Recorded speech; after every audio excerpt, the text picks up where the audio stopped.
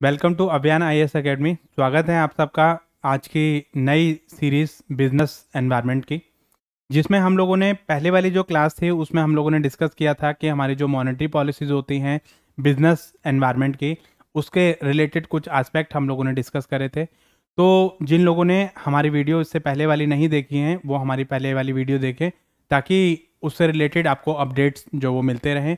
और आज हम लोग जो है मॉनेटरी पॉलिसी के पार्ट को हम लोग आगे कंटिन्यू करेंगे। देखिए, ये जो पार्ट है वो हमारे एग्जामिनेशन पॉइंट ऑफ़ व्यू से बहुत ही ज़्यादा इंपॉर्टेंट है। तो आप लोग इससे पहले वाली वीडियो ज़रूर देखें और ताकि इस वीडियो में हम लोग आगे कंटिन्यू कर सकें और आपके जो कॉन्सेप्ट है उसको क्लियर कर सकें। तो चलिए मिलते हैं हम लोग। इससे पहले वाली जो क्लास थी, उसमें हम लोगों ने कुछ इंस्ट्रूमेंट के बारे में डिस्कस किया था कि हमारी जो मॉनेटरी पॉलिसी होती है, उसके क्या क्या इंस्ट्रूमेंट होते हैं। तो उसके बारे में चलिए थोड़ा सा डिस्कस कर लेते हैं हम लोग कि मॉनेटरी पॉलिसी के इंस्ट्रूमेंट के बारे में हम लोगों ने डिस्कस किया था कि हमारे दो टाइप के टूल होते हैं। कौन कौन से? क्वालिटेटिव टूल और क्वांटिटेटिव टूल क्वालिटेटिव टूल्स में हमने तीन टूल के बारे में डिस्कस किया था। Marginal requirement selective credit control and moral suasions and quantitative में हमारे दो चीज़ें आएँगी डायरेक्ट और आपका इनडायरेक्ट मेथड्स ठीक है तो उसमें हमारा डायरेक्ट में आपका C R R S L R और रीफाइनेंस फैसिलिटी ठीक है? तो ये आपका डायरेक्ट में आ जाएगा। कुछ हमारे इनडायरेक्ट मेथड है, जैसे रेपो रेट है रिवर्स रेपो रेट है बैंक रेट है ओपन मार्केट ऑपरेशन है, ठीक है? एमएसएफ है बेस रेट है और आपका एम है। तो ये सारे जो कॉन्सेप्ट हैं, ये सारे हम लोग ऑलरेडी इसके बारे में हम लोग डिस्कस कर चुके हैं। ठीक है? एक जो इंपॉर्टेंट एस्पेक्ट हम लोगों ने डिस्कस किया था that is your open market operation. Open market operation का मतलब क्या होता है कि यहाँ पर जो आरबीआई है वो डायरेक्टली मार्केट में जाता है और उसको बोलता है पब्लिक को कि भाई एक काम करो कि हम अपनी सिक्योरिटीज जो मार्केट में इशू कर रहे हैं, आप लोग जो है वो उन सिक्योरिटीज को खरीदो। लेकिन ये जो होता है, वो शॉर्ट टर्म के लिए ही होता है। तो इसमें आपका क्या करता है कि आरबीआई जो है अपनी सिक्योरिटीज जो मार्केट में उतारेगा, मार्केट में इशू करेगा और पब्लिक का पैसा जो मार्केट से ले लेगा। मार्केट से पैसा ले लिया और उनको जो है वो मनी सप्लाई आपका कम कर दिया और मनी का जो पैसा पब्लिक के पास में था एक्सेस मनी जो पब्लिक के पास में थी, वो वहाँ से उसने क्या करा?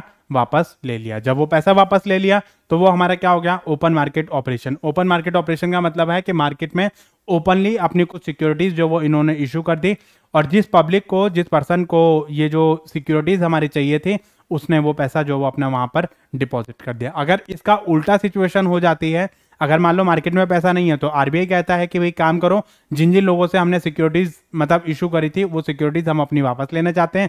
आप हमसे पैसा जो वो ले लो। ठीक है? तो अपनी सिक्योरिटीज जो है वो वापस ले लेगा और आपको जो पैसा जो है दे देगा। जब पैसा दे देगा तो आपके पास पैसा आ जाएगा, आपकी जो मनी सप्लाई है वो बढ़ जाएगी। तो इससे ये जो है, हमारी जो मनी सप्लाई है, वो कॉन्ट्रैक्ट भी हो सकती है और एक्सपेंड भी हो सकती है तो उसके हिसाब से हम ये सारी चीज़ें डिस्कस कर चुके हैं। इसके साथ साथ हम लोगों ने एक और मेथड यूज़ किया था, जिसको हम बोलते हैं बैंक रेट ये बैंक रेट हमारा क्या था? बेसिकली कि जिसमें हमारा ये मोस्ट इफ़ेक्टिव मेथड था हमारा, जो कि जिसमें आरबीआई जो है मनी लैंड करता है किसको? कमर्शियल बैंक को।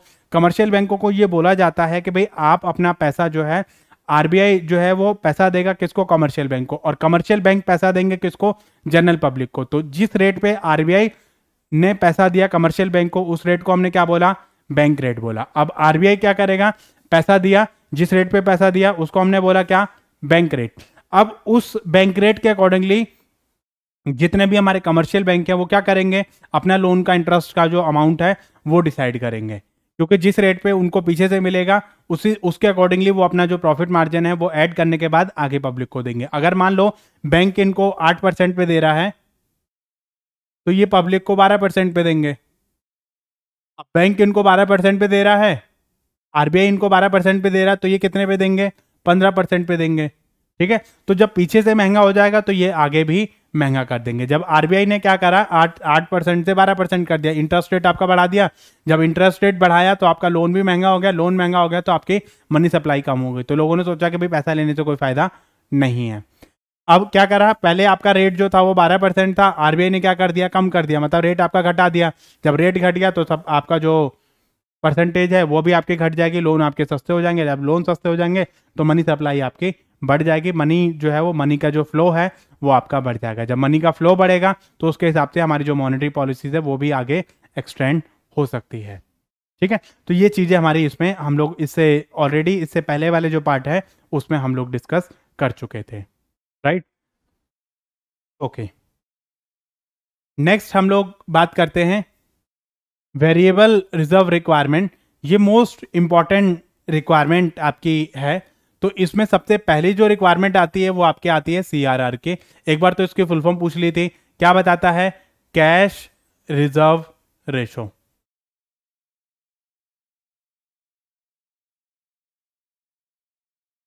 क्या कहता है? कैश रिज़र्व रेशो एक ऐसी रिक्वायरमेंट होती है जो आरबीआई कहता है कि भैया एक काम करो। आरबीआई ने बोला किसको? कमर्शियल बैंकों को।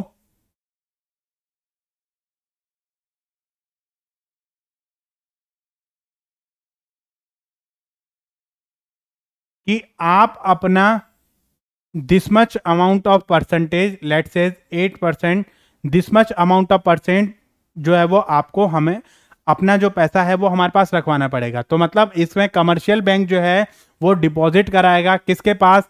आरबीआई के पास। कितना? जो उसने परसेंटेज डिसाइड करी है। अब ये जो परसेंटेज आपकी डिसाइड करी है percentage of deposit of the commercial bank have to keep with the RBI तो ये सीआरआर मतलब क्या हो गया? वो एक मिनिमम परसेंटेज हो गया, जो कि आपको जमा करवाना ही है कमर्शियल बैंकों को आरबीआई के पास। तो ये कौन रखता है? आरबीआई रखता है। किस चीज़ का? जो भी उनके पास टोटल डिपॉजिट्स होती हैं, उसका कुछ परसेंटेज जो है वो आपको वहाँ पर रखवाना पड़ेगा अपनी in the form of reserve ठीक है? RBI will adjust the set percentage to the control the supply available with the bank तो इसमें आपका क्या होगा कि ये जो परसेंटेज है, उसको एडजस्ट कर देगा। परसेंटेज कम भी कर सकता है, ज़्यादा भी कर सकता है। आरबीआई ने बोला कि भाई काम करो कि मान लो आपके पास सौ रुपया आया। सौ रुपए में से आप जो आठ परसेंट है वो हमारे पास रखवाओगे। आठ परसेंट रखवाए मतलब सौ का आठ परसेंट हो गया आपके आठ रुपए तो नाइन्टी टू रुपीज़ जो है वो आपके पास बचेंगे। अब ये नाइन्टी टू रुपीज़ ही आप जो मार्केट में सप्लाई कर सकते हो। मार्केट में कितना पैसा सप्लाई करोगे? नाइन्टी टू रुपीज़ आरबीआई ने बोला कि काम करो, जो आपका आठ परसेंट था, अब वो हम बढ़ाकर पंद्रह परसेंट कर रहे हैं। पंद्रह परसेंट का मतलब क्या है कि आरबीआई ने बोला कि भाई हंड्रेड का पंद्रह परसेंट हो गया पंद्रह रुपए। तो आपके पास कितना बचा? एटी फाइव रुपीज़ तो आप मार्केट में कितना पैसा सप्लाई कर सकते हो? एटी फाइव रुपीज़ मतलब जब आपको पैसा मार्केट में कम सप्लाई करना है तो ये जो सी आर आर है, इसको बढ़ा दो। जब सी आर आर आपका बढ़ेगा तो आपकी जो मनी सप्लाई है, वो भी कम हो जाएगी। मनी सप्लाई कैसे कम होगी? ये मैंने आपको एग्जांपल दिया आपको। कि आपका जैसे मान लो फॉर एग्जांपल बैंकों के पास किसी ने सौ रुपए जमा किए, सौ में उसने बोला कि भाई आरबीआई ने बोल दिया भैया, आठ रुपए जो वो आप हमारे पास जमा करवाओगे ही करवाओगे। आठ परसेंट हो गया तो नाइन्टी टू टू रुपीज़ ही जो वो बैंक आगे सर्कुलेट कर सकता है। वही पैसा जो वो आगे सर्कुलेट कर रहा है, क्योंकि बैंकों के पास जो पैसा आता है, वो जो पब्लिक का पैसा है, उसी पैसे को ये सर्कुलेट करते हैं। तो इसमें क्या हुआ कि नाइन्टी टू रुपीज़ जो वो इसने आगे सर्कुलेट करे। जब नाइन्टी टू रुपीज़ इसने सर्कुलेट करे तो बैंकों ने आरबीआई ने बोला कि काम करो, जो आपका आठ परसेंट था, उसको बढ़ा के हम पंद्रह परसेंट कर रहे हैं। जब पंद्रह परसेंट करा तो इसका मतलब क्या है कि हंड्रेड का जो फिफ्टीन रुपीज़ है, वो आपको रिज़र्व की फॉर्म में आरबीआई के पास रखवाने पड़ेंगे। जब आरबीआई के पास आप रखवाओगे तो उसमें आपका क्या रह गया कि आपके पास एटी फाइव रुपीज़ जो वो रह गए। जब एटी फाइव रुपीज़ आपके पास रह गए तो उसके अकॉर्डिंगली आप क्या करोगे, उसको एडजस्ट करोगे। पहले आपके पास नाइन्टी टू रुपीज़ बचे थे, जो आपने मार्केट में सप्लाई करे। अब आपके पास कितने बचे? एटी फाइव रुपीज़ बचे। तो मतलब मनी सप्लाई क्या हो गई आपकी? कम हो गई।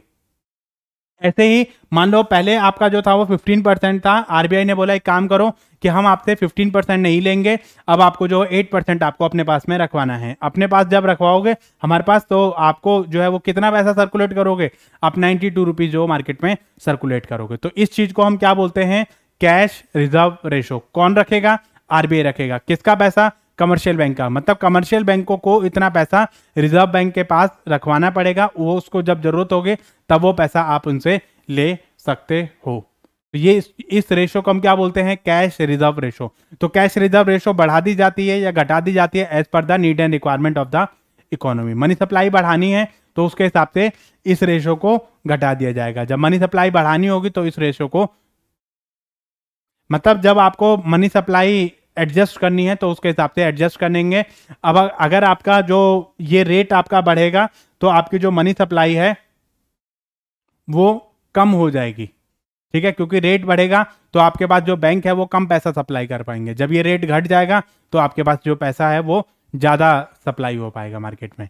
तो उसके हिसाब से ये जो एडजस्टमेंट है, ये आपकी इसमें आ जाती है।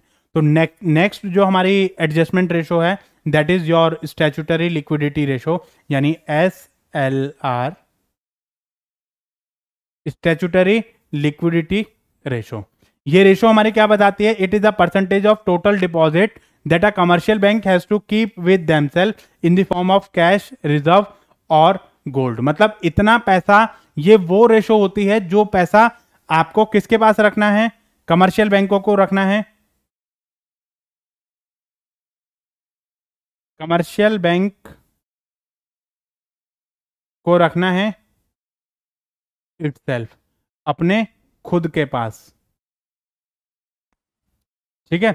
In the form of cash, reserve और गोल्ड। अब ये कहता है कि मान लो कभी ऐसा हो आपके पास कि आपके पास जो डिपॉजिट करने वाले जो पर्सन हैं, वो कम हो जाएँ और निकालने वाले पर्सन जो वो आपके पास ज़्यादा हो जाएँ। तो इतना पैसा आपको हमेशा अपने पास रखना ही है कि इससे मतलब आपको इमरजेंसी फंडिंग के लिए आपको इतना पैसा अपने पास रखना ही रखना है। तो अब इन्होंने क्या बोला? इनका भी वही पंगा कि जैसे मान लो उन्होंने बोला कि भाई आई काम करो, आप आठ परसेंट जो अपने पास आपको रखना ही रखना है। ठीक है? तो आपके पास जो वो कितना पैसा आप सर्कुलेट कर सकते हो? नाइन्टी टू रुपीज़ ठीक है? अब उन्होंने बोला कि भाई आरबीआई ने बोल दिया कि भाई काम करो, इस पैसे को बढ़ा दो ये जो पैसा आठ परसेंट रखते थे, अब आप अब आप जो वो पंद्रह परसेंट रखोगे। अच्छा आर, जो जितने भी कमर्शियल बैंक है, वो आरबीआई की बात क्यों मानेंगे? क्योंकि आरबीआई जो है, क्या है, एक एपेक्स बॉडी है, उसको कंट्रोल करने का जो काम है, सारे बैंकों को कंट्रोल और सुपरविजन करने का जो काम है, वो किसका है? आरबीआई का है। तो इसलिए अगर आप ज़्यादा चूं चपड़चा करते हो तो आरबीआई आपका जो लाइसेंस है, वो कैंसिल कर देगा, फिर आप कुछ भी नहीं कर पाओगे। ठीक है? तो यहाँ पर आपका जो है, ये जो पैसा है, वो आरबीआई जो है, वो गाइड करेगा कि इतना पैसा आपको जो वो अपने पास रखना है। सीआरआर जो है, वो आरबीआई के पास आप रखोगे और एसएलआर जो है, वो आप अपने अपने पास रखोगे ताकि मतलब जो है, आप इनकेस अगर आपकी इमरजेंसी हो जाती है तो आप उस रिज़र्व में से वो पैसा आप निकाल सकते हो और उस पैसे को आप यूज़ आगे कर सकते हो। ठीक है? तो इसमें क्या करेगा? Increase in the S L R will the bank the fewer the fund to give the loan कि मतलब आप जितना ये परसेंटेज आपकी बढ़ेगी, उतना ही कम पैसा आप मार्केट में सप्लाई कर पाओगे। और इसका उल्टा जब होता है तो इसमें आपके जो मनी सप्लाई को कंट्रोल करने का और जो चीज़ें हैं, वो हमारी इसमें आ जाती हैं। जब ये परसेंटेज आपकी घटेगी तो आप ज़्यादा पैसा जो मार्केट में दे पाओगे। अगर ये परसेंटेज बढ़ती है तो आप कम पैसा मार्केट में दे पाओगे। अगर ये परसेंटेज आपकी घटती है तो आप ज़्यादा पैसा मार्केट में दे पाओगे। तो ये एक तरीका होता है आरबीआई का। पैसे को कंट्रोल करने का और पैसे को किस तरीके से आगे कंटिन्यू करना है तो ये चीज़ें हमारी इसमें आ जाती हैं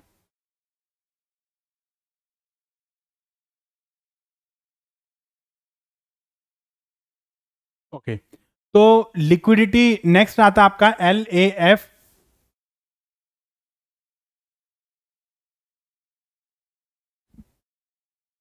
देखो LAF का मतलब क्या होता है? लिक्विडिटी एडजस्टमेंट फैसिलिटी ये हमारी एक ऐसी इनडायरेक्ट इंस्ट्रूमेंट होता है हमारे मनी कंट्रोल का कि जिसके थ्रू हम अपना जो है लिक्विडिटी उसको कैसे एडजस्ट करना है। मतलब बैंकों के पास कितनी लिक्विड सिचुएशन में पैसा आपके पास अवेलेबल होना चाहिए तो उसको एडजस्टमेंट करने की एक फैसिलिटी होती है। तो इसमें हमारा क्या रहता है? इसको हम दो तरीके से ये ऑपरेट कर सकते हैं। एक होता है हमारा रेपो रेट एक होता है हमारा रिवर्स रेपो रेट ठीक है? तो इसमें हमारा जो है, ये इसके थ्रू हम जो लिक्विडिटी एडजस्टमेंट फैसिलिटी है, उसको हम आगे एडजस्ट करते हैं कि हमारे पास बैंकों के पास कितना लिक्विड फॉर्म में कैश और अदर एसेट्स हमारे पास अवेलेबल होने चाहिए। तो उसके हिसाब से ये सारी जो चीज़ें हैं, वो आपकी क्या करी जाएँगी? एडजस्ट करी जाएँगी। तो जब लिक्विड लिक्विडिटी को आप एडजस्ट करते हो बैंकों की तो उस फैसिलिटी को हम क्या बोलते हैं? लिक्विडिटी एडजस्टमेंट फैसिलिटी तो वो जो फैसिलिटी है, वो हमारी किसमें आ जाती है? रेपो रेट और रिवर्स रेपो रेट के थ्रू हम ये जो चीज़ें हैं, वो अपनी करेंगे। अब ये रेपो रेट क्या होता है और रिवर्स रेपो रेट क्या होता है? इसके बारे में थोड़ा सा डिस्कस करते हैं। The repo rate is the actually rate at which commercial bank and other institute obtain short term loan from the central bank मतलब जितने भी हमारे कमर्शियल बैंकों को जो शॉर्ट टर्म के लिए जो आपका लोन मिलता है, उसको हम क्या बोलेंगे? इसको हम बोलेंगे रेपो रेट ठीक है? इसको हम क्या बोलेंगे? रेपो रेट ठीक है तो इसमें हमारा जो है आरबीआई पैसा देगा। किसको? कमर्शियल बैंकों को। On the short term basis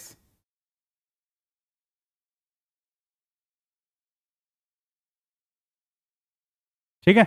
तो आरबीआई जो पैसा देगा, किसको देगा? कमर्शियल बैंक को देगा। और इन, जिस रेट पे इसने पैसा दिया शॉर्ट टर्म के लिए, उस पैसे, उस रेट को हम क्या बोलते हैं? रेपो रेट ठीक है? तो ये जो रेट है, वो उसके हिसाब से एडजस्ट कर दिया जाता है। जैसे हमारा मनी सप्लाई हमारी ज़्यादा है तो उसके हिसाब से ये रेट उसके हिसाब से एडजस्ट कर दिया जाएगा। मनी सप्लाई हमारी कम है तो इस रेट को बढ़ा दिया जाएगा या घटा दिया जाएगा तो उसकी जो एडजस्टमेंट है, वो आपकी ऐसे ही चलेगी जैसे आपकी सी और एस एस इनके अकॉर्डिंगली आपकी चलती है। ठीक है? तो इसके बारे में थोड़ा सा और डिस्कस करते हैं। क्या कहता है repo rate is the rate at which central bank of the country ठीक है lend money to the commercial bank in the event of shortfall of the fund लेकिन ये जो है वो तब होता है जब आपका इनकेस अगर आपको शॉर्टफॉल हो जाता है फंड की शॉर्टेज हो जाती है तो उस टाइम पे आपको जो पैसा है, ये इमरजेंसी के लिए आपको जो पैसा है वो दे दिया जाता है। ठीक है? Repo rate is use by the monetary policy to control the inflation अगर आपको इन्फ्लेशन की सिचुएशन है मार्केट में तो वहाँ पे उसको कंट्रोल करने का जो तरीका होता है, वो आपका क्या होता है? रेपो रेट होता है। ठीक है? इसमें आरबीआई आपसे रेट चार्ज करता है। आरबीआई जो है, वो क्या करेगा? कमर्शियल बैंक से इंटरेस्ट चार्ज करेगा। आरबीआई ने मनी दी किसको? कमर्शियल बैंक को। और कमर्शियल बैंक किसको क्या देंगे? इंटरेस्ट देंगे। ठीक है? तो जिस रेट पे इसने आरबीआई ने आपको पैसा दिया कमर्शियल बैंकों को तो जिस रेट पे पैसा दिया शॉर्ट टर्म फॉल के लिए, अगर आपको कोई शॉर्ट टर्म फॉल हो जाता है या कोई दिक्कत आपकी आ जाती है तो वहाँ पर आपको जो है वो उस रेट पे जब आपको पैसा दिया जा रहा है, उस रेट को हम क्या बोलते हैं?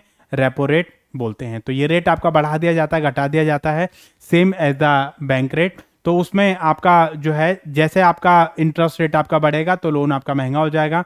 तो जब लोन महँगा हो गया तो वो सारी चीज़ें भी आपके मनी सप्लाई आपका कंट्रोल हो जाएगा। जब आपका इंटरेस्ट रेट घटेगा, जब इंटरेस्ट रेट आपका घट गया तो आपका जो लोन है वो सस्ते हो जाएँगे, जब लोन सस्ते हो जाएँगे तो आपका जो मनी सप्लाई है वो आपकी बढ़ जाएगी। रिवर्स रेपो रेट क्या होता है? रिवर्स रेपो रेट इसका उल्टा होता है। रिवर्स रेपो रेट क्या होता है? Which the Reserve Bank of India borrowed fund from the commercial bank in the country मतलब इसमें जो आरबीआई है, वो पैसा लेता है किससे? कमर्शियल बैंकों से। मतलब ये आपका कमर्शियल बैंक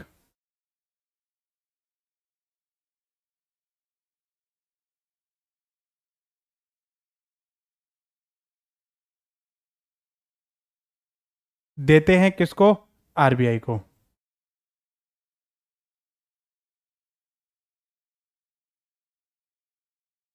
ठीक है? तो ये क्या कहते हैं कि जैसे मान लो, बाकायदा कभी बैंकों के पास ऐसा सिचुएशन आ जाती है, बैंकों के पास ज़रूरत से ज़्यादा पैसा पड़ा है तो वो क्या करते हैं कि एक काम करो, तुम अपना जो पैसा है मतलब कमर्शियल बैंक कहते हैं जी, आप हमारा पैसा जो वो आरबीआई रख ले।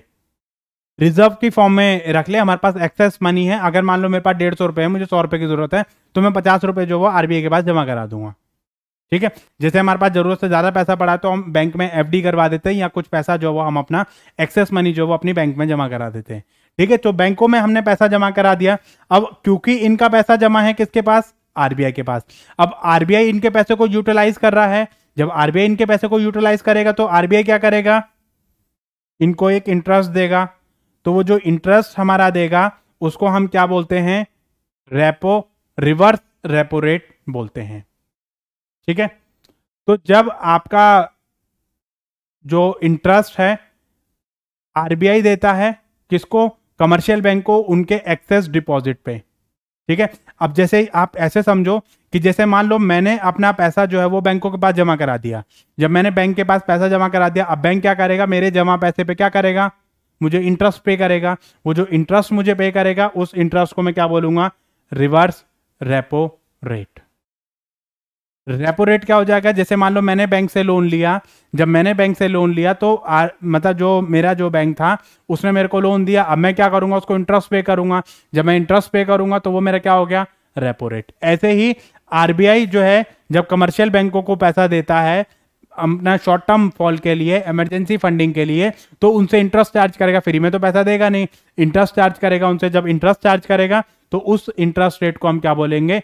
रेपो रेट अब रिवर्स रेपो रेट का मतलब क्या हुआ? रिवर्स रेपो रेट का मतलब क्या हुआ कि आरबीआई ने अपना जो पैसा ले रखा था कमर्शियल बैंकों से कमर्शियल बैंकों को ये बोल दिया कि अगर किसी भी पर्सन के पास किसी भी बैंक के पास अगर एक्सेस मनी डिपॉजिट हो जाती है तो आप एक काम करो कि उस पैसे को आप मेरे पास जमा करवा दें। अगर एक्सेस मनी आपकी रहेगी तो उस पैसे को मैं आप, अपना जो वो अपने पास रख लूँगा और जितना भी पैसा आपका रहेगा तो वो पैसा को आपको जो क्या कर दिया जाएगा इंटरेस्ट आपको दिया जाएगा, जितने टाइम के लिए मैं आपका आपका जो पैसा है, वो हमारे पास रखा रहेगा। तो कमर्शियल बैंक ने पैसा दिया किसको? आरबीआई को। कौन सा पैसा? जो हमारा एक्सेस मनी थी। और यहाँ पर कब पैसा लिया? जब हमारा शॉर्टफॉल था। अगर शॉर्टफॉल होगा तो आरबीआई से पैसा ले लिया जाएगा। अगर एक्सेस होगा तो आरबीआई के पास डिपॉजिट कर दिया जाएगा। जब आरबीआई के पास मैंने मनी डिपॉजिट करी तो आरबीआई ने बोला, ठीक है भैया, आपका पैसा हमारे पास जमा था। अब उसमें जितने टाइम के लिए मैंने आपसे पैसा लिया है तो वो जो पैसा मैंने आपसे लिया है, वो पैसा क्या क्या करोगे आप? उस पैसे को मैं जो वो आपको इंटरेस्ट पे करूँगा। तो देखो, इसमें ये जो कंफ्यूजन है, इस कंफ्यूजन को आप दूर कर लेना कि आरबीआई ने कमर्शियल बैंकों को पैसा दिया, जिस रेट पे पैसा दिया, वो हमारा क्या हो गया? रेपो रेट अब कमर्शियल बैंक ने अपना पैसा डिपॉजिट कर दिया in the form of reserve किसके पास? आरबीआई के पास। तो आरबीआई ने उसके पैसे को यूटिलाइज किया। आरबीआई ने जो पैसा यूटिलाइज किया, उसके बदले में वो क्या देगा? इंटरेस्ट देगा। चाहे वो यूटिलाइज करो या यूटिलाइज मत करो, लेकिन उनके पास जमा है तो जितने टाइम के लिए जमा है, उतने टाइम पे आरबीआई जो है वो उनको इंटरेस्ट पे करेगा। वो जो इंटरेस्ट पे करेगा, उसको हम क्या बोलेंगे? रिवर्स रेपो रेट तो is it clear to all of you कि आपका जो रेपो रेट होता है, वो क्या होता है? और रिवर्स रेपो रेट आपका क्या होता है? ओपन मार्केट ऑपरेशन क्या होता है? बैंक बैंक आपका जो रेट होता है, वो आपका क्या होता है? तो रेपो रेट जो होता है, वो शॉर्टफॉल की सिचुएशन में ही होता है और वो जो आपका है नॉर्मल सिचुएशन होता है विदाउट कोलेट्रल सिक्योरिटी ठीक है? बैंक रेट जो है, वो आपका नॉर्मल उसमें रहता है नॉर्मल कंडीशन में आपका रहता है, लेकिन उसमें कोई कोलेट्रल सिक्योरिटीज आपकी नहीं ली जाती है। ठीक है? तो यहाँ पर जो है एक एग्ज़ाम्पल के थ्रू आपको समझाते हैं। जैसे सेंट्रल बैंक ने लोन दिया किसको? कमर्शियल बैंक को for the lending to the public central bank ने बोला कि भैया, एक काम करो कि आरबीआई ने बोला किसको? कमर्शियल बैंक को। मान लो कमर्शियल बैंक उसने बोला हमारा एसबीआई को कि भैया, आप एक काम करो, इतना पैसा जो मार्केट में आप सप्लाई कर दो। रेट ऑफ़ इंटरेस्ट जो आपका रहेगा वो उसमें जो भी रेट ऑफ़ इंटरेस्ट उसने बोला कि भैया हम इतना पैसा हम आपको देंगे तो जिस रेट पे हम आपको देंगे, वो मेरा क्या बन जाएगा? रेपो रेट बन जाएगा। ठीक है? तो इसमें हम क्या कर सकते हैं कि आरबीआई ने लोन दिया किसको? एट परसेंट पे एसबीआई को। आरबीआई ने जो वो आठ परसेंट पे जो वो एसबीआई को दिया। ठीक है? अब एसबीआई ने उस पैसे को क्या करा? टू मिस्टर ए को पैसा दे दिया ग्यारह परसेंट पे। एसबीआई ने मिस्टर ए को दे दिया ग्यारह परसेंट पे। ठीक है? अब आरबीआई ने जो पैसा एसबीआई को दिया तो उसको हम क्या बोलेंगे? रेपो रेट और बैंक रेट, ठीक है? क्योंकि उस पैसे को जो है, अब वो डिपेंड करता है कि शॉर्ट शॉर्ट टर्म की सिचुएशन में लिया था, कि मतलब आप इमरजेंसी में लिया था, या वो आपने नॉर्मल कंडीशन में लिया था। अगर इमरजेंसी में लिया है, शॉर्टफॉल हो गया है तो रेपो रेट, या फिर अगर नॉर्मल सिचुएशन में लिया है तो वो बैंक रेट आपका हो जाएगा। तो यहाँ पर who determine the repo rate उसने किसने डिटरमाइन किया? सेंट्रल बैंक ने डिटरमाइन किया मतलब आरबीआई ने डिटरमाइन किया किसके लिए? एसबीआई के लिए। उसने बोला कि भैया, हम इतने पे आपको देंगे, अगर चाहिए तो हाँ बोलो, नहीं चाहिए तो टाटा, बाय बाय। ठीक है? उसने बोल दिया, ठीक है भाई हम आपको जो इतने आठ परसेंट पे हम दे देंगे। ओके।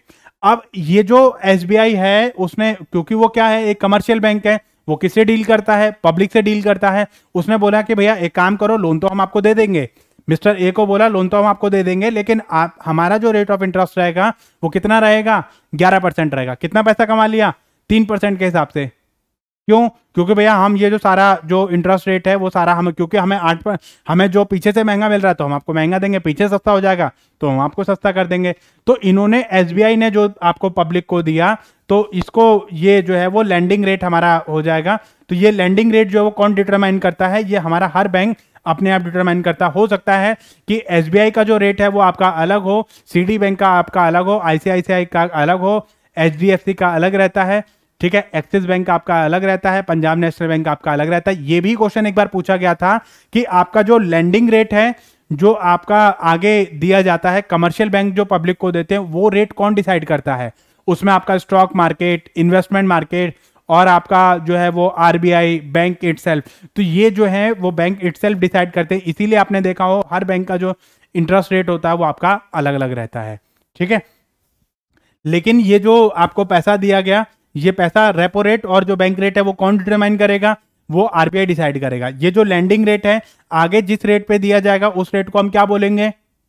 उस रेट को हम क्या बोलेंगे? लैंडिंग रेट बोलेंगे या rate of interest on loan rate of interest on loan पे जो भी हमारा पैसा दिया गया है, वो सारा हमारा इसके हिसाब से डिटरमाइन किया जाएगा। I hope you guys understand the bank rate और रेपो रेट ठीक है कि उसमें लैंडिंग रेट का उस पर क्या फ़र्क पड़ेगा। अब बैंकों ने बोल दिया कि भाई आरबीआई ने क्या करा कि भाई आरबीआई ने बोल दिया, भैया हम 11 परसेंट पे लेंगे। तो ये क्या करेंगे? उसको 15 परसेंट कर देंगे। वो बोलेंगे, ठीक है भैया, आप बढ़ा दोगे, हम आगे भी बढ़ा देंगे। तो जब आगे बढ़ा देंगे तो मनी सप्लाई जो वो हमारी कंट्रोल हो जाएगी मनी सप्लाई आपकी कम हो जाएगी। तो इस चीज़ को हम क्या बोलेंगे? रेपो रेट या बैंक रेट ठीक है? ओके अब हम बात करेंगे कुछ क्वालिटेटिव मेथड्स के बारे में बात करेंगे। इससे पहले जो हमने बात करी, वो किसके बात करी? वो क्वांटिटेटिव मेथड की बात करी, लेकिन यहाँ पर जो हम बात करने वाले हैं, वो किसकी बात करने वाले हैं? क्वालिटेटिव मेथड्स की बात करने वाले हैं।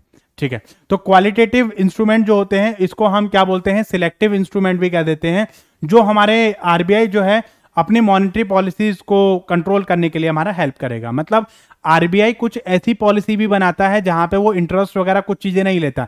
वो दूसरे तरीके अपनाता है। उसमें क्या करेगा? वो कुछ ऐसी गाइडलाइंस तैयार करेगा, कुछ ऐसी प्रिपरेशन करेगा जिसमें वो बोलेगा कि भैया, आपको ये ये चीज़ें करनी है, अगर आप करते हो तो ठीक है, अगर नहीं करते तो आप बाहर हो जाओगे। ठीक है? तो इसमें आपका क्या करेगा? These instrument are use for discriminating between various user of credit मतलब इसमें आपका क्या होता है? अच्छा ये भी एक बार क्वेश्चन आया था कि जब कमर्शियल बैंक आपके डिस्क्रिमिनेट करते हैं on the basis of user किसी यूज़र को रेट ऑफ़ इंटरेस्ट आपका कम दिया जाता है, किसी यूज़र को रेट ऑफ़ इंटरेस्ट आपका ज़्यादा दिया जाता है तो उसमें उस टाइप की पॉलिसीज़ को हम क्या बोलते हैं? तो वो भी आपकी मॉनिटरी पॉलिसी के अंडर ही आती है, लेकिन मॉनिटरी में वो क्वालिटेटिव एस्पेक्ट को कवर करती है। ठीक है? For example they can be use by the for favouring export over the import और essential over the non essential credit supply this method is influence on both borrower and the lender अब कई बार क्या कहता है? Bank आपको बोल देगा कि भैया, किस पर्पज के लिए लोन चाहिए? आपने बोल दिया, जी, मुझे जो है एक मशीनरी खरीदना उन्होंने बोल दिया, नहीं मिलेगा। कई बार बैंक कह देता है कि भाई आपको किस पर्पज के लिए चाहिए? मुझे घर चाहिए। कभी बोल देगा कि भाई आपको मिलेगा। कभी बोलेगा, आपको नहीं मिलेगा। तो इससे आपका क्या रहेगा कि अगर आप इंपोर्ट के लिए लोन लेने जाओगे, हो सकता है आपको मना कर दे। अगर आप एक्सपोर्ट के लिए लोन लेने जाओगे तो बोलेगा, ठीक है भैया, आप नेसेसरी डॉक्यूमेंट जमा कराइए, हम आपको जो वो प्रोवाइड कर देंगे। ठीक है? तो इसमें बैंक जो है वो पार्शियलिटी कर सकता है। जैसे जैसे गाइडलाइंस आएँगी आरबीआई की तरफ़ से वैसे वैसे जो कमर्शियल बैंक है, उसके इशारों पे नाचना शुरू कर देंगे। तो जितने भी जो कमर्शियल बैंक रहते हैं, वो as per the guidelines of the RBI movement करते हैं। तो आरबीआई ने बोल दिया कि भैया पैसा दो तो वो आगे पैसा देंगे। अगर आरबीआई ने बोल दिया कि भैया सिलेक्टिव पैसा दो तो वो सिलेक्टिव पैसा देंगे। आरबीआई की जैसी गाइडलाइंस आएँगी, जैसा आपका कंडीशन रहेगी, उसके हिसाब से जो कंडीशन है वो हमारी आगे कंटिन्यू कर दी जाएँगी। तो उसमें ये बोला जाता है कि भाई आपको जो है एक्सपोर्ट के लिए हो सकता है कि फेवर करे और इम्पोर्ट के लिए आपको फेवर ना करें। इंपोर्ट के लिए वो हो सकता है बोल दे कि भाई, जी, ठीक है भाई, हम आपके आगे से पूछ के बताएँगे और ये ये डॉक्यूमेंट आप जो वो जमा कराओ। उसमें हो सकता है कि टाइम में डिले कर दे और आपको बोल दे कि जितना जो काम आपका पंद्रह दिन में होना चाहिए था, उसको वो बोल दे कि भैया, डेढ़ से दो महीना आपका लग जाएगा। अब कई बार हो सकता है कि भाई, मेरे पास इतना टाइम नहीं है तो मैं उसको जो वो मना कर दूँगा। एक्सपोर्ट के लिए जो काम आपका महीने भर में होना चाहिए, उसको बोल दे कि जी, आपको दस दिन में आपको मिल जाएगा। ठीक है? तो यहाँ पर आपका जो, ये जो मेथड्स होते हैं, इससे आपका जो बोरवर्स हैं और जो लैंडर्स हैं, दोनों को इफ़ेक्ट देखने को मिलता है, क्योंकि जिसको पैसा चाहिए और जो पैसा देगा, दोनों पे इफ़ेक्ट इसको देखने को मिलेगा। अब मान लो ऊपर से जैसी गाइडलाइंस आई है कि भाई पैसा एक्सेस देना है, आपको पैसा देना है मार्केट में तो ये उसी हिसाब से बात करेंगे कस्टमर से। अगर ये ऊपर से गाइडलाइंस आई है, भैया पैसा नहीं दे रहा है मार्केट में तो ये उसी हिसाब से गाइडलाइंस करेंगे, उनको बोल देंगे, भैया एक काम करो फोटोकॉपी लाओ ओरिजिनल लेकर आना। ओरिजिनल लाओ फोटोकॉपी लेकर आना। अच्छा ये चीज़ है, साइन आपके मैच नहीं कर रहे। इसमें ये चीज़ लेकर आओ सिक्स मंथ की स्टेटमेंट लेकर आओ। तो उसमें क्या करेगा? वो इतना भगाता रहेगा। और एक टाइम पे आप फ्रस्ट्रेट होकर बोली दोगे, भैया, नहीं चाहिए हमें लोन ठीक है? तो कई बार जब इनको पैसा नहीं देना होता तो वो उस तरीके से आपसे बात करते हैं। अब वो क्या करेंगे, उसको बोल देंगे, मैडम, ऐसा है इसमें आपको, अभी आपको इतना रेट ऑफ़ इंटरेस्ट पड़ेगा, फिर उसके बाद धीरे धीरे आपको जो इतना पड़ेगा। तो कई बार ये जो चीज़ें हैं, वो बहुत सोचने, समझने की हमारी चीज़ें रहती हैं। कई बार बैंक आपको मोरली डाउन कर देता कहता है, अरे भाई साहब, कहाँ लोन के चक्कर में पड़ रहे हो आपको? नहीं, वो रहेगा। जिसको बहुत ज़्यादा ज़रूरत होती है, उसको वो पैसा देता है अदरवाइज़ वो देगा नहीं। कई बार क्या होता है, बैंक आपको जो वो न्यूली सेटअप बिज़नेस पे भी आपको लोन दे देता है।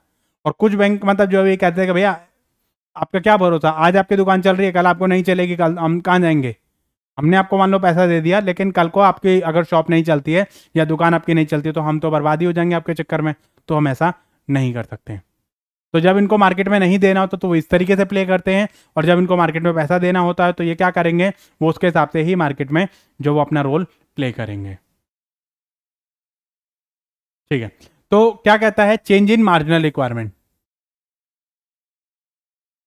ये बहुत इंपॉर्टेंट चीज़ है मार्जिनल पहले तो आप ये समझो कि मार्जिनल रिक्वायरमेंट होता क्या? मार्जिनल रिक्वायरमेंट का मतलब होता है कि जैसे मान लो हमारा कोई लोन है। अब ये लोन है, इसके बदले में क्या रखवाएगा बैंक आपसे? सिक्योरिटी रखवाएगा। ठीक है? अब बैंक जो सिक्योरिटी रखवाएगा लोन का अमाउंट और सिक्योरिटी के अमाउंट में जो डिफरेंस होता है, उसको हम बोलते हैं मार्जिनल रिक्वायरमेंट अब जैसे मान लो फॉर एग्जांपल आपने बैंकों को अप्लाई किया फाइव लैख के लोन के लिए। बैंक ने बोला, भैया, एक काम करो कि आप कोई भी सिक्योरिटी, सेवन लैख की कोई सिक्योरिटी है, वो हमारे पास रखवा दो। और पब्लिक बोलेगी, भैया, मेरे पास अगर सात लाख रुपए की सिक्योरिटी होती तो मैं आपसे पाँच लाख का लोन लेता? नहीं लेता। तो उसके हिसाब से वो क्या करेगा, ये जो रिक्वायरमेंट ये जो गैप है लोन का और सिक्योरिटी अमाउंट का, उस अमाउंट को हम क्या बोलते हैं? मार्जिनल रिक्वायरमेंट जब इनको पैसा मार्केट में ज़्यादा देना होता है तो ये क्या करते हैं? इस सिक्योरिटीज को कम कर देंगे। बोलेंगे, भैया, एक काम करो, पाँच लाख का लोन है आपका तो पाँच लाख के लोन के लिए आप कोई भी एक लाख तक की सिक्योरिटी आप जमा करवा दो। एक लाख तक की सिक्योरिटी कोई भी पर्सन जो आपका इजीली जमा करवा सकता है। वो क्या बोलेगा, लो जी भाई साहब, आपकी एक लाख की सिक्योरिटी और पाँच लाख का मैं लोन दे दो। जब इनको नहीं देना होता है तो वो क्या करेंगे, पाँच लाख की सिक्योरिटी के लिए आपका जो अमाउंट है, ये जो गैप है, वो आपका बढ़ा देंगे। जब गैप बढ़ेगा, जब गैप आपका बढ़ता है तो उसमें वो क्या करेंगे आपको जो है वो मनी सप्लाई आपके कम कर देगा। और जब जब गैप घटेगा आपका मार्जिनल रिक्वायरमेंट आपकी घटेगी तो उसके हिसाब से वो एडजस्टमेंट आपका हो जाता है। तो आपको जो मनी सप्लाई जब उनको बढ़ानी होगी तो ये गैप घटा देगा। जब मनी सप्लाई उसको कम करनी होती है तो ये गैप बढ़ा देगा। तो क्या कहता है? Marginal margin is the requirement certain proportion of the loan amount that is not offered और finance by the bank change in the marginal marginal can lead to the change in the loan size the instrument is use to encourage the credit supply for the necessary sector and avoid the unnecessary sector that can be done by the increasing और marginal unnecessary sector और reducing the margin of the needy sector तो देखो, कई बार क्या होता है कि जिसको ज़्यादा रिक्वायरमेंट है या जिसको कम रिक्वायरमेंट है, उसके हिसाब से ये क्या कर सकते हैं? अपनी जो वो एडजस्टमेंट अपनी कर सकते हैं। तो उसके हिसाब से ये जो है, वो अपना देख सकते हैं कि भाई हम जो वो कौन कौन से सेक्टर्स जो है वो, कई बार जो आरबीआई जो है अपना मार्जिन रिक्वायरमेंट को कम कर देता है, कई बार आरबीआई जो है वो मार्जिन रिक्वायरमेंट को बढ़ा देता है। कई बार आरबीआई कह देता है कि ठीक है भाई, जिसको ज़रूरत है उसको भी दे दो, जिसको ज़रूरत नहीं है उसको भी दे दो। ठीक है तो उसके हिसाब से मतलब जो वो आरबीआई जैसा डायरेक्ट करेगा, जैसा गाइड करेगा आपको, जैसा उसमें आगे आपको गाइड किया जाएगा तो उसके हिसाब से ये चीज़ें आपकी आ जाती हैं। ठीक है नेक्स्ट आता आपका मोरल सुएशन मोरल सुएशन का मतलब आपका क्या हुआ? मोरल सुएशन जो है वो कमर्शियली आपको एक प्रेशर क्रिएट किया जाता है कि आपको रूल्स एंड जो रेगुलेशंस हैं, वो आपको बहुत स्ट्रिक्टली फॉलो करने हैं। अगर आप बैंकों की गाइडलाइंस को फॉलो नहीं करते हो तो आपको बोल दिया जाता है, भैया, एक काम करो, आपके बस की बात नहीं है, आप अपना लाइसेंस कैंसिल करवाओ, आप आराम से बैठ जाओ।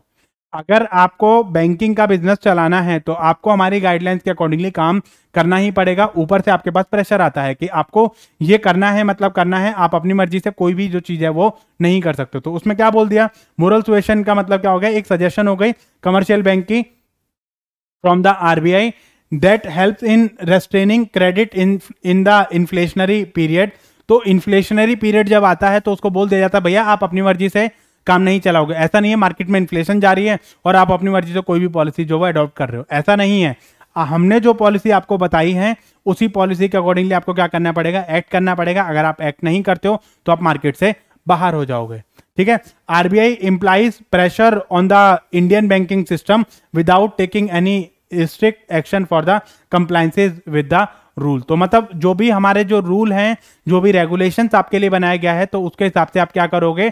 उसको कंट्रोल करोगे और गाइडलाइंस अपनी तैयार करोगे कि भाई उसके हिसाब से आपको जो भी रूल्स एंड रेगुलेशंस हैं, उसको आप अपना तैयार करोगे। तो उस चीज़ को हम क्या बोलते हैं? मोरल सुवेशन बोल देते हैं। ठीक है? तो मार्जिनल रिक्वायरमेंट आपको समझ आया। मार्जिनल रिक्वायरमेंट का मतलब होता है कि जो जितना लोन आपको दे रहा है और जितनी रिक्वायरमेंट आपको है, आपकी कोलेट्रल सिक्योरिटी जितनी रखवाएगा तो उसके डिफरेंस को हम क्या बोलते हैं? मार्जिनल रिक्वायरमेंट तो मार्जिनल रिक्वायरमेंट जो है वो आपकी कम ज़्यादा आपकी हो सकती है। ठीक है तो उसके हिसाब से आरबीआई जो है वो ये भी आपकी गाइडलाइंस बना सकता है कि जो नीडी सेक्टर है, उसमें कितनी, उसको कितनी रिक्वायरमेंट है मतलब वो हो सकता है कि वो आपको बोल दे कि भाई एग्रीकल्चर सेक्टर को आपको इतना पैसा देना है और इस सेक्टर को आपको इतना पैसा देना है तो RBI feel that more credit supply should be allotted to the agriculture sector and RBI will reduce the margin and even 80 to 90 percent loan can be allotted तो मतलब आरबीआई ने बोला कि अगर हम सौ रुपये लोन दे रहे हैं तो सौ में से हम आपको जो है वो इतना जो है वो एग्रीकल्चर सेक्टर को हम प्रोवाइड कर देंगे। तो वहाँ पर जो है वो ये चीज़ें आपके इसमें आ जाती है। तो उसको हम क्या बोल देंगे? मार्जिनल रिक्वायरमेंट बोल देते हैं। Okay okay. अच्छा इसमें एक चीज़ और आपके आती है, जिसको हम बोलते हैं क्रेडिट राशनिंग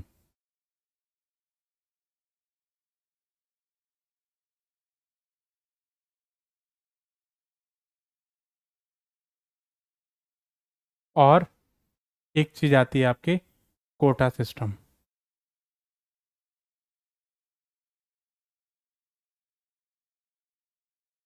आरबीआई हो सकता है कि आपको एक गाइडलाइंस तैयार करे और आपको बोले कि भैया, एक काम करो कि जिसने जिस लोन के लिए आपका अप्लाई किया है, उसके हिसाब से आप उसके क्रेडिट की राशनिंग कर दो।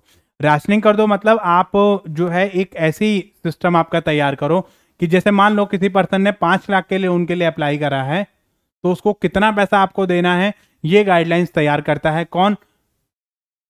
आरबीआई तैयार करेगा। क्या बोलेगा आरबीआई कि भैया, एक काम करो कि पाँच लाख के लोन के लिए, अब हो सकता है कि उसने बोल दिया कि टू पॉइंट फाइव जो है वो आपको देना है। मतलब फिफ्टी परसेंट आपको लोन देना है। अगर मैं दस लाख के लिए अप्लाई करूँगा तो पाँच लाख देगा। ढाई लाख के लिए मतलब पाँच लाख के लिए अप्लाई करूँगा तो ढाई लाख। तो उसके हिसाब से मेरा जो है वो क्या हो जाएगा, मैं क्रेडिट को जो है वो वन टू टू की रेशो में डिवाइड कर दूँ। मतलब किसी ने दो रुपए की डिमांड करी तो हम उसको एक रुपया देंगे। ठीक है?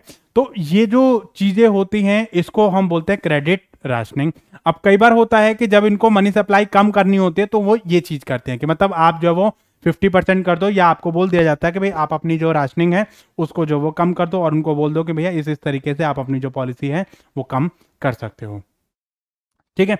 या वो हो सकता है कि वो आपको ये भी बोल दे कि भैया एक काम करो कि आपने पाँच लाख के लोन के लिए अप्लाई करा तो कई बार बैंक आपसे पूछता है कि भाई साहब आपको पाँच लाख की ही ज़रूरत है या आपको ज़्यादा की ज़रूरत है? जब इनको ज़्यादा पैसा देना होता है मार्केट में तो वो बोल देंगे, आपको ज़्यादा मिल जाएगा, क्यों नहीं मिलेगा?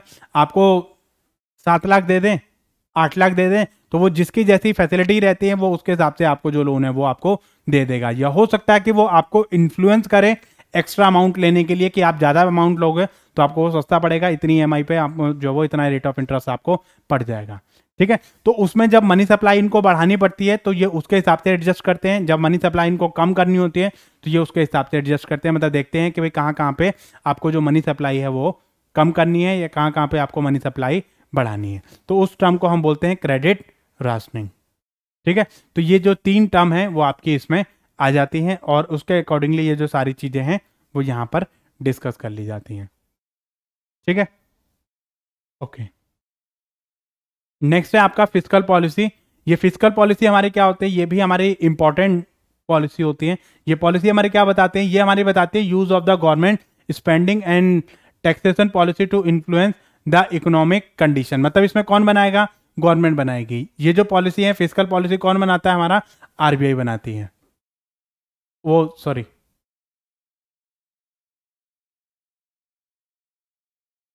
इसमें हमारा गवर्नमेंट ऑफ़ इंडिया बनाएगी।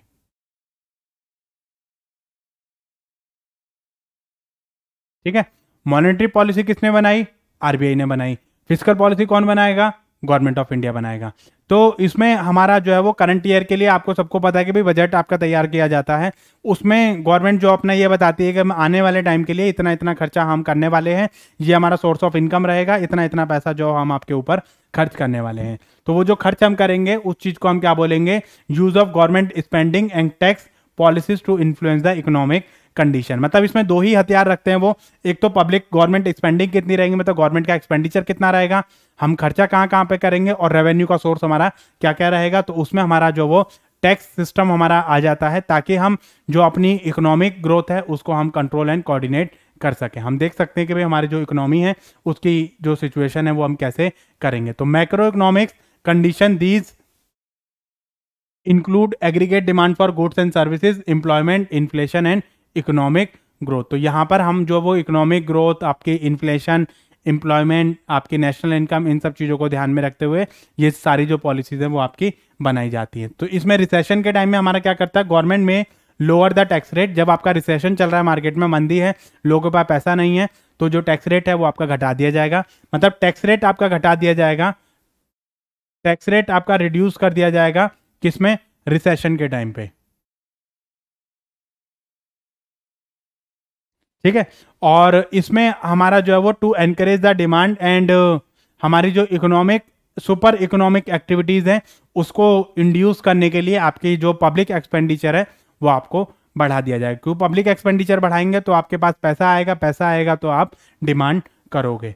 ठीक है? अगर इन्फ्लेशन होता है तो इन्फ्लेशन है तो मार्केट में हो सकता है कि टैक्स रेट आपका बढ़ा दिया जाए और आपकी जो स्पेंडिंग है, वो आपकी कूल cool डाउन कर दिया जाए इकोनॉमी को। ठीक है? जब आपकी जब क्या होता है कि जब मार्केट में इन्फ्लेशन है आपका मार्केट में प्राइस लेवल और ज़्यादा इंक्रीज हो रहा है तो आपका टैक्स रेट बढ़ा दिया जाएगा। टैक्स रेट जब आपका बढ़ा देगा तो ज़्यादा पैसा गवर्नमेंट के पास जाएगा और आपके पास पैसा कम बचेगा। जब आपके पास कम पैसा बचेगा तो आप पब्लिक मतलब आप जो पैसा एक्सपेंडिचर करोगे, वो बहुत सोच समझ के करोगे।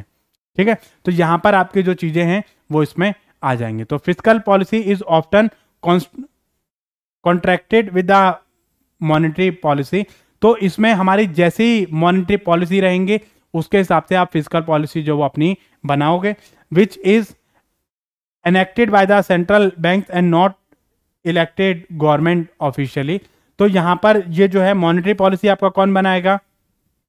आरबीआई बनाएगी।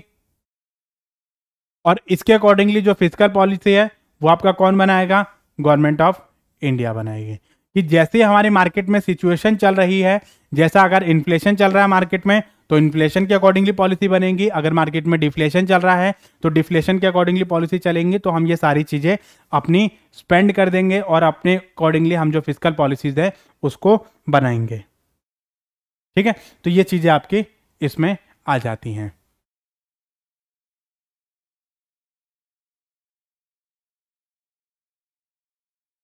ओके तो ये वाली जो स्लाइड है, वो आपकी एक, जो मैंने आपको बताया था, राशनिंग ऑफ़ क्रेडिट, ये आपकी वहाँ की स्लाइड है।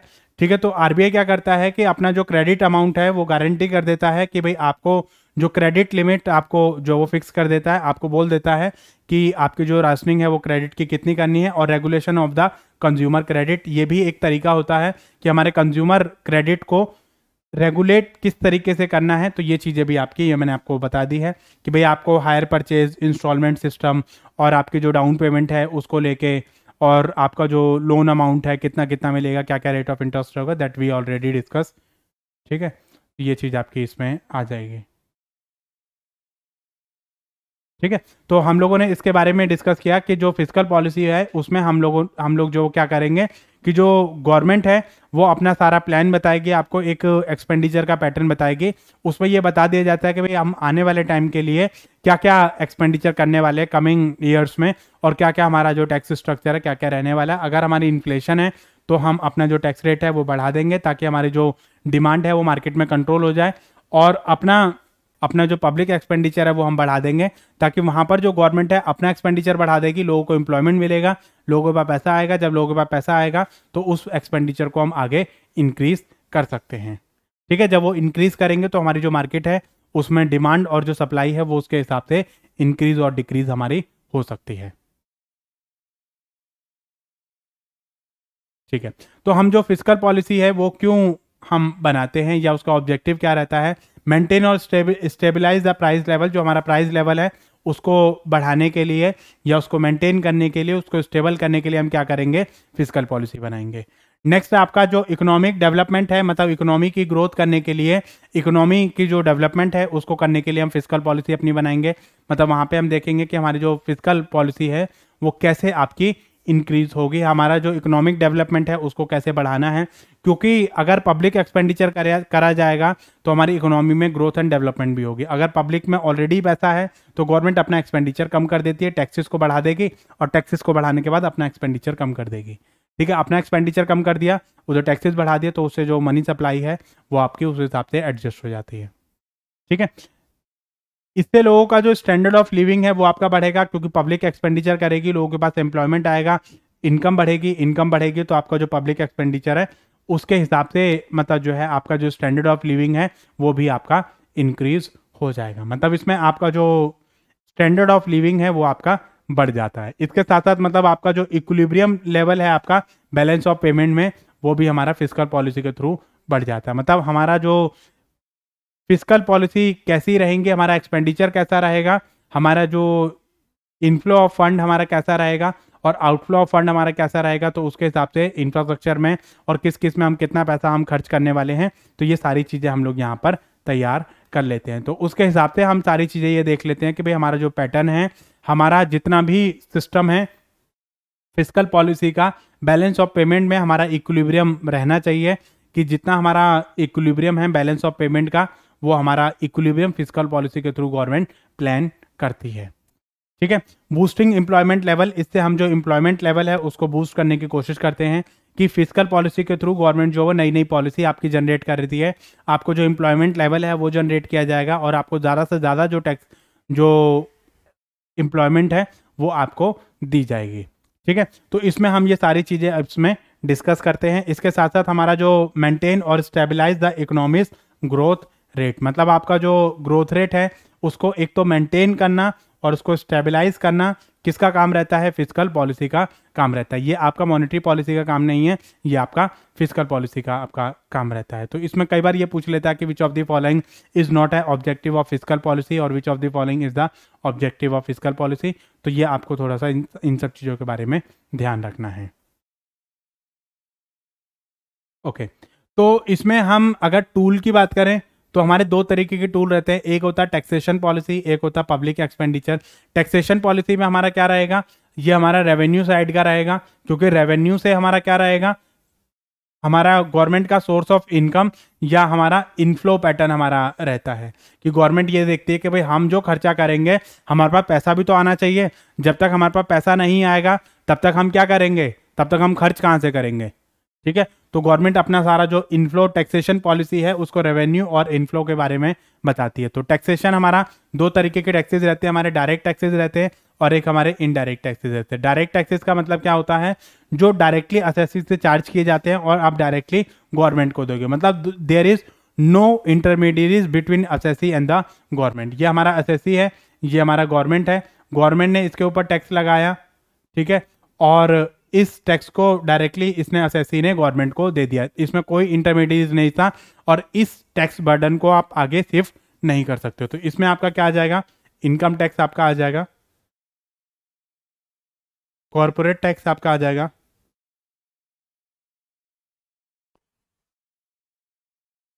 सिक्योरिटी ट्रांजेक्शन टैक्स आपका आ जाएगा। कैपिटल गेन टैक्स इसमें आ जाएगा।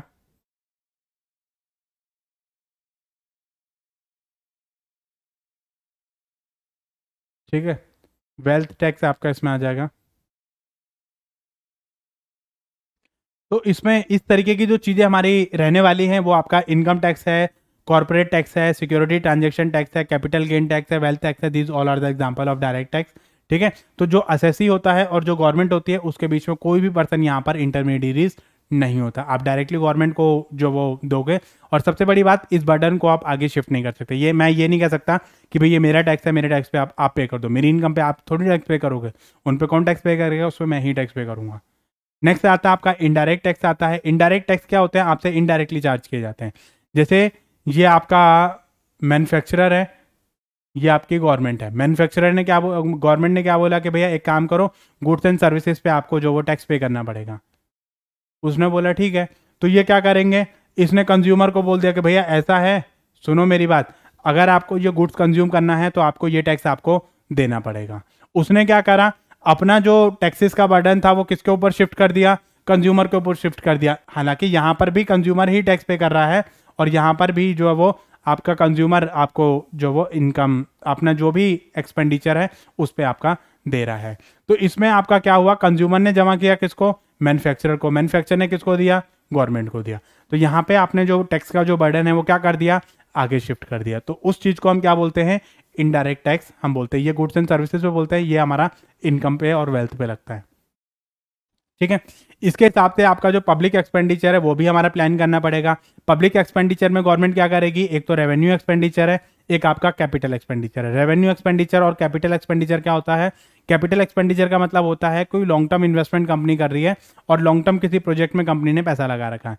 ठीक है, जैसे मान लो कोई आपने प्लांट खरीद लिया, कोई मशीनरी खरीद ली, कोई इक्विपमेंट खरीद लिया, कोई रोड बनवा दिया मतलब जिसका बेनिफिट आपको आने वाले टाइम के लिए मिलेगा।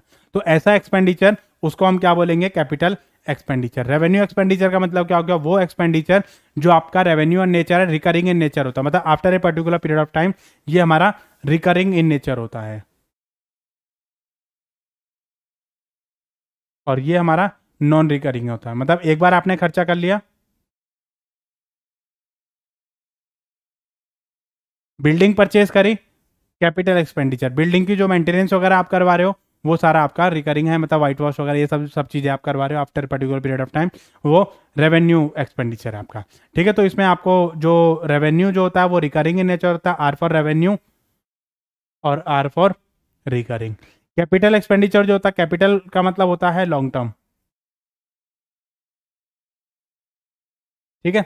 आपका ये जो एक्सपेंडिचर होते हैं, वो नॉन रिकरिंग इन नेचर होते हैं। गवर्नमेंट जो वो आपके, आपका जो है बिल्डिंग बनवाना और उसमें वो करना, वो सारा आपका किसमें आ जाएगा? कैपिटल एक्सपेंडिचर में आ जाएगा। जो रेवेन्यू छोटे मोटे खर्चे आपके होते हैं, वो आपके जो वो इसमें आ जाते हैं। ठीक है? तो इस तरीके से जो फ़िज़िकल पॉलिसी है, उसको दो तरीके से प्लान किया जा सकता है। एक तो आपका टैक्सेशन पॉलिसी एक आपका कैपिट पब्लिक एक्सपेंडिचर आपका किस तरीके से किया जाएगा, उसमें रेवेन्यू एक्सपेंडिचर और पब्लिक एक्सपेंडिचर आपका आ जाएगा ओके okay. तो ऐसे ही जैसे हमारी एक्सपेंशनरी पॉलिसी और कॉन्टेक्शनरी पॉलिसी मैंने आपको बताई थी, किसमें मॉनेटरी पॉलिसी में मैंने आपको बताई थी कि दो तरीके की पॉलिसी होती है, एक एक्सपेंशनरी एक कॉन्टेक्शनरी ऐसे ही फ़िज़िकल पॉलिसी भी हमारी दो तरीके की होती है कौन कौन सी? एक्सपेंशनरी फ़िज़िकल पॉलिसी और contractionary physical policy expansionary physical policy का मतलब क्या होता है? कि इसमें पॉलिसी में आपका जो इकोनॉमिक ग्रोथ है, उसको बढ़ा दिया जाता है। आपकी जो पब्लिक एक्सपेंडिचर है, उसको बढ़ा दिया जाएगा टैक्सेस आपके कम कर दिए जाएँगे। ठीक है? हो सकता है कि दोनों को हम करें पब्लिक एक्सपेंडिचर आपका बढ़ जाएगा और टैक्सेस आपके कम हो जाएँगे।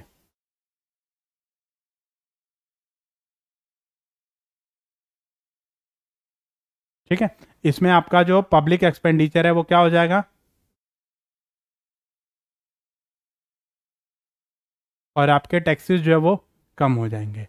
जब एक तो टैक्सेस कम हो गए, और दूसरा आपके इनकम के जो सोर्स हैं, वो भी आपके जनरेट हो गए गवर्नमेंट ने अपना क्या करा है? नए नए प्रोजेक्ट स्टार्ट कर दिए। कहीं पे रोड बन रहा है, कहीं पे डैम बन रहा है, कहीं पे बिल्डिंग बन रही है, कहीं पे कुछ बन रहा है, उसमें कौन काम करेगा गवर्नमेंट? जो वो आपको पैसा लगा दिया प्रोजेक्ट में, उसमें जो पब्लिक काम करेगी, जब पब्लिक काम करेगी, लोगों के पास पैसा आएगा एम्प्लॉयमेंट की अपॉर्चुनिटी आएँगी इंफ्रास्ट्रक्चर में कंपनी ने पैसा खर्च करा है गवर्नमेंट ने। ठीक है तो इस तरीके की मतलब पब्लिक एक्सपेंडिचर बढ़ा दिया टैक्सेज आपके कम कर दिए।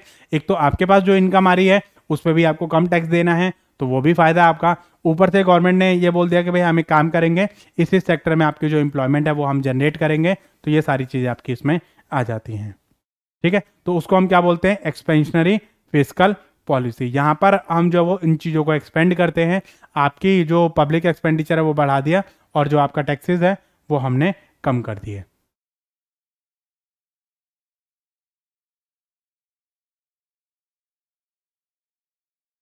ऐसे ही हमारी जो है वो कॉन्टेक्शनरी पॉलिसी हमारी हो सकती है कि अगर हम इसका उल्टा करेंगे मतलब आपका जो पब्लिक एक्सपेंडिचर आपका पब्लिक एक्सपेंडिचर हमारा कम हो जाएगा और टैक्स हमारा बढ़ जाएगा तो उसको हम क्या बोलेंगे? कॉन्टेक्शनरी ठीक है? तो ऐसी पॉलिसी को हम क्या बोलते हैं? कॉन्टेक्शनरी और ये जो पॉलिसी है मतलब आपका पब्लिक एक्सपेंडिचर बढ़ गया टैक्स आपका कम कर दिया तो उसको हम बोलते हैं expansionary physical policy right okay तो हम डिफ्रेंशिएट करते हैं किसमें मॉनेटरी पॉलिसी में और आपकी फ़िज़िकल पॉलिसी में। तो बहुत सारी चीज़ें हमने कर रखी हैं। देखो फ़िज़िकल पॉलिसी हमारा क्या होता है कि हमारे जो economic growth by influencing demand and employment हमारी जो डिमांड और जो एम्प्लॉयमेंट लेवल है, उसको हम इन्फ्लुएंस करेंगे। यहाँ पर जो प्राइमरी एम हमारा रहेगा, वो किसको रहेगा? डिमांड को लेकर और हमारा एम्प्लॉयमेंट को ले रहेगा। लेकिन यहाँ पे जो मॉनिटरी पॉलिसी है, उसमें हमारा इन्फ्लेशन और हमारा जो सस्टेनेबल जो प्राइस है, उसको कैसे हमें कंट्रोल करना है, हमारी जो मनी सप्लाई है, उसको कैसे कंट्रोल करना है, इन चीज़ों के बारे में डिस्कस किया जाता है। इसको गवर्नमेंट ऑफ़ इंडिया बनाएगी यानी जी ओ आई इसको हमारा आरबीआई बनाएगी। यहाँ पे फ़िज़िकल पॉलिसी के टूल क्या रहते हैं? हमारे स्पेंडिंग और टैक्सेशन रहता है और मॉनेटरी पॉलिसी के आपके जो मनी सप्लाई इंटरेस्ट रेट और आपके क्वांटिटेटिव मेजर आपके रहेंगे। जैसे टारगेट में आपका जो है हमारा इंटरेस्ट रेट हमारा जो इम्प्लॉयमेंट लेवल है, उसको इंक्रीज़ करना है। एम्प्लॉयमेंट लेवल को इंक्रीज़ करेंगे तो लोगों के पास पैसा आएगा पैसा आएगा तो अपने हिसाब से लोगों के पास मनी सप्लाई कैसे बढ़ानी है, कैसे कम करनी है तो उसके हिसाब से जो चीज़ें आपके फ़िज़िकल पॉलिसी को हम बजटरी पॉलिसी भी कह देते हैं।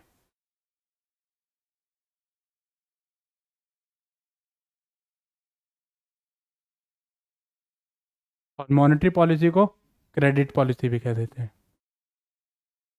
ठीक है तो ये आपको थोड़ा सा ध्यान रखना है। ठीक है तो इसमें आपका जो जॉब्स है और आपका जो इंक्रीज वेजेस इन्फ्लेशन वगैरह, ये सारी चीज़ें आपकी आ जाती हैं। ठीक है, इसमें rate of loan houses car और एजुकेशन वगैरह पे इंटरेस्ट रेट आपका कम हो गया, ज़्यादा हो गया, बढ़ गया आपका। ठीक है फ़िज़िकल पॉलिसी में गवर्नमेंट के जो इन्फ्लुएंसेस रहते हैं, वो बहुत ज़्यादा एक्सट्रीमली हाई रहते हैं। और मॉनिटरी पॉलिसी में जो गवर्नमेंट के इन्फ्लुएंसेस रहते हैं, वो जनरली आपके लो रहते हैं, क्योंकि आरबीआई जो है, वो क्या है, एक इंडिपेंडेंट बॉडी है, वो कंसिडर करेगी इनको, लेकिन उसमें गवर्नमेंट का इन्फ्लुएंस जो आपका कम रहता है। ठीक है? तो ये बेसिक बेसिक आपके डिफरेंस थे, जो कि हमारे इसमें आते हैं। ठीक है?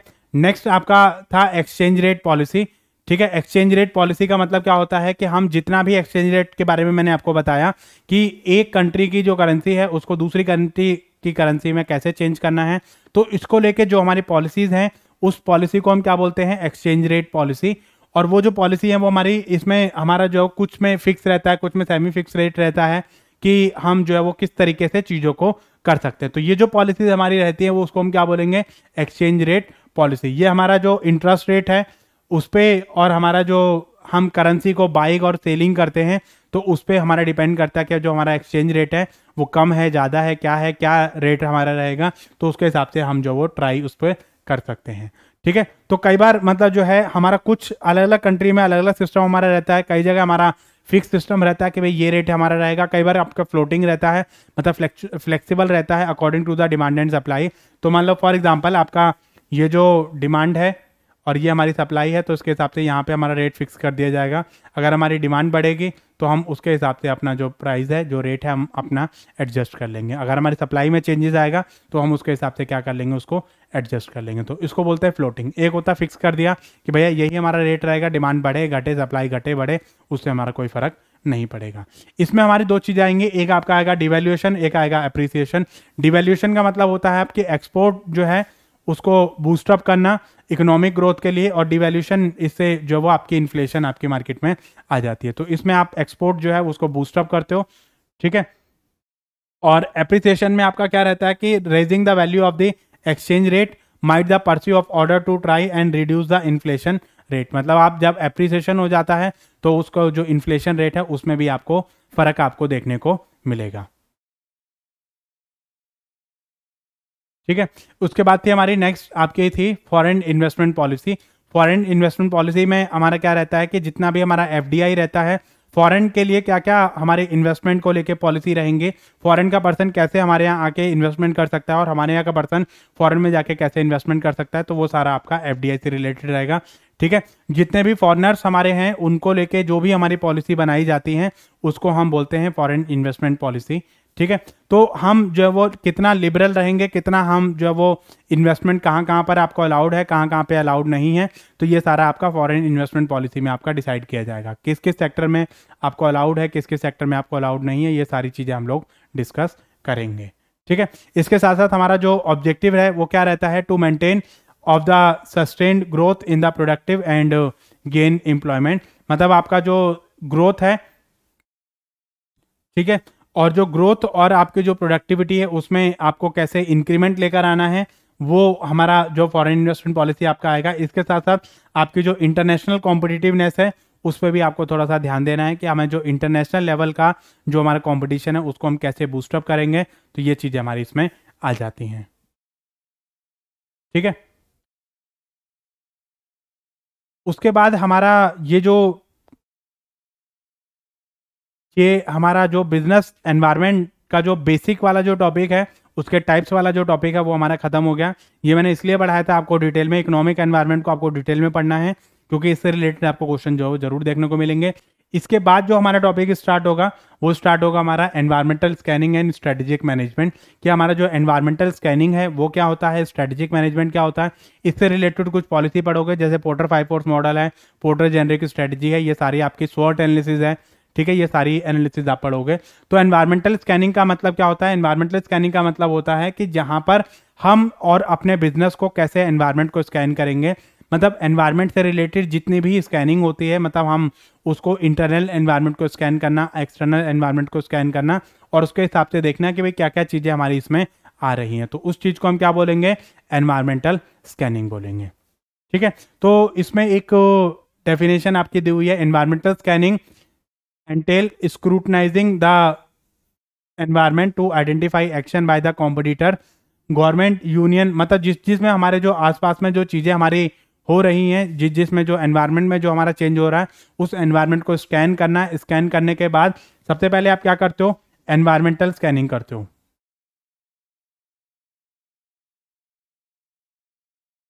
एनवायरमेंट स्कैनिंग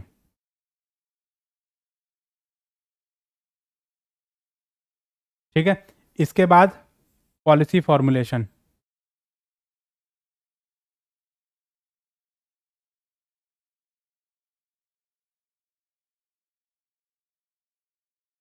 उसके बाद इम्प्लीमेंटेशन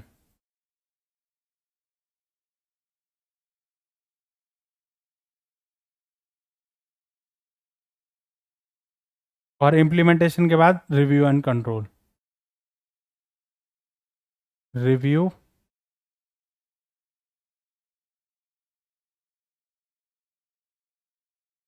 ठीक है? तो रिव्यू एंड कंट्रोल का जो हमारा काम रहता है, वो हमारा सबसे लास्ट में रहता है। तो कई बार इसको सीक्वेंसिंग भी आ जाती है। ठीक है? एनवायरमेंटल स्कैनिंग के कौन कौन से तरीके हैं कौन कौन से मेथड्स हैं तो इससे रिलेटेड आपका क्वेश्चन आ जाता है। तो इससे ये वाला जो टॉपिक है, वो हम लोग नेक्स्ट क्लास में डिस्कस करेंगे। इसके साथ साथ हम लोग नेक्स्ट क्लास में एक तो एनवायरमेंटल स्कैनिंग का जो सारा टॉपिक है, ये तो हम डिस्कस करेंगे करेंगे।